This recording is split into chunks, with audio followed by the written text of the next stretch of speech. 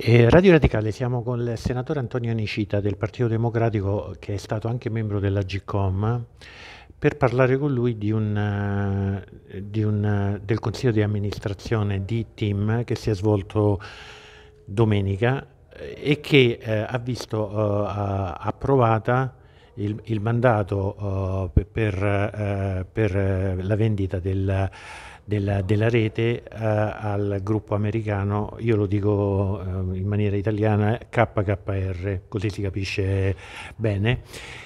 che ha provocato un'alzata di scudi di non solo Vivendi, ma anche di un'altra, di un'altra società che eh, volevano che eh, il Consiglio dell'Assemblea degli azionisti eh, votasse questa, questa scelta. Allora, io le volevo chiedere un giudizio su come si sono svolte le cose, se il Consiglio di amministrazione poteva prendere una scelta anche che non è stata presa all'unanimità, credo che ci fossero tre voti contrari. Allora, come ha trovato questa scelta e adesso che cosa succede? Perché eh, restano anche altre partite eh, aperte sul quale, sulle quali il Consiglio di amministrazione non ha dato il via libera. Sì, ma eh, iniziamo innanzitutto dicendo che un conto sono le,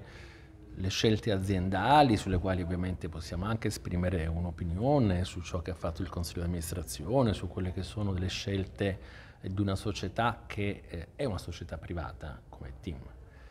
eh, altra cosa è la circostanza su cui noi insistiamo molto che tutta questa che è un'operazione che parte eh, in un contesto eh, diciamo esclusivamente di rapporti privati in realtà è il frutto di un disegno di politica industriale quale, rispetto alla quale eh, il governo italiano ha una grandissima responsabilità perché eh, di fatto si sta accompagnando, si sta facendo la scelta eh, motivata da ragioni finanziarie prevalentemente di eh, una cessione della rete, quindi di una separazione verticale fra rete e servizi del nostro incumbent nazionale di telecomunicazioni, quando la spinta eh, al disegno, eh, diciamo così, che anche negli anni passati abbiamo fatto era quello di creare una grande rete aggregata nazionale e quindi di utilizzare la separazione tra reti e servizi come un rimedio possibile antitrust rispetto ad una grande operazione di concentrazione, mentre qui si è fatto esattamente l'inverso.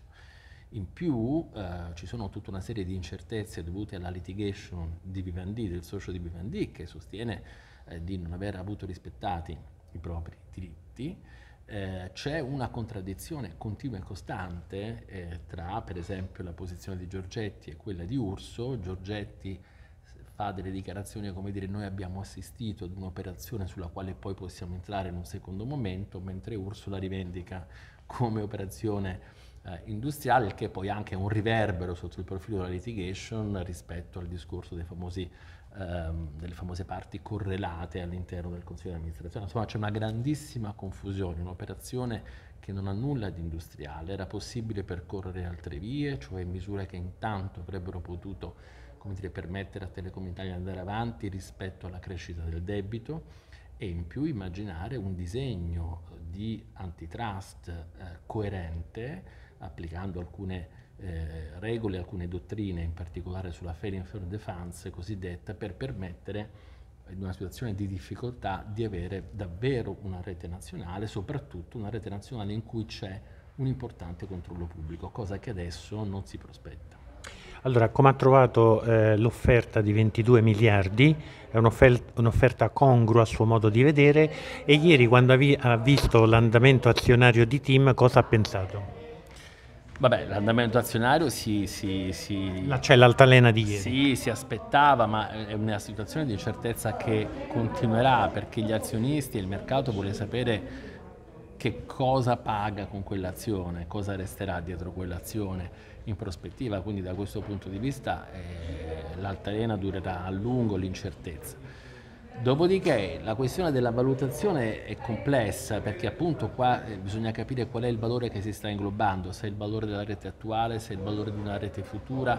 la circostanza che eh, in qualche misura si investa semplicemente per 5 anni da parte di eh, KKR e KKR senza eh, dire, avere de delle garanzie di investimento di lungo periodo anche questo sul valore dell'impresa crea qualche problema. Il problema è anche il perimetro della rete. Eh, oggi fare questa distinzione così netta fra rete fissa e rete mobile nel contesto del 5G e poi del 6G eh, e in generale delle nuove architetture di rete è davvero eh, limitativo e limitante. In più non sappiamo che impatto avrà tutto questo rispetto agli investimenti finanziati col PNRR, ricordiamo che stiamo parlando di circa 5 eh, miliardi di euro, insomma è un'operazione che è, innanzitutto è contraria a quello che il governo aveva annunciato, perché questo governo aveva annunciato già nella scorsa legislatura, cioè queste forze di maggioranza avevano annunciato nella scorsa legislatura di voler portare ad una rete sotto il controllo pubblico e soprattutto ad una grande rete aggregata nazionale. Oggi non c'è niente di tutto questo, c'è una telecom più povera,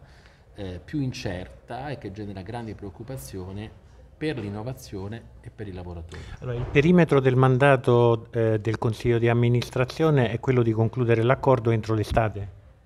Lei pensa che questo... Sì, eh. io mi auguro una cosa, adesso al di là di come andrà, io mi auguro che ehm, a questo punto oggi ci sono dei, dei contorni chiari, cioè c'è il contorno dell'offerta KKR, KKR, c'è l'idea della rete separata, c'è l'idea di una grossa litigation possibile con Vivendi,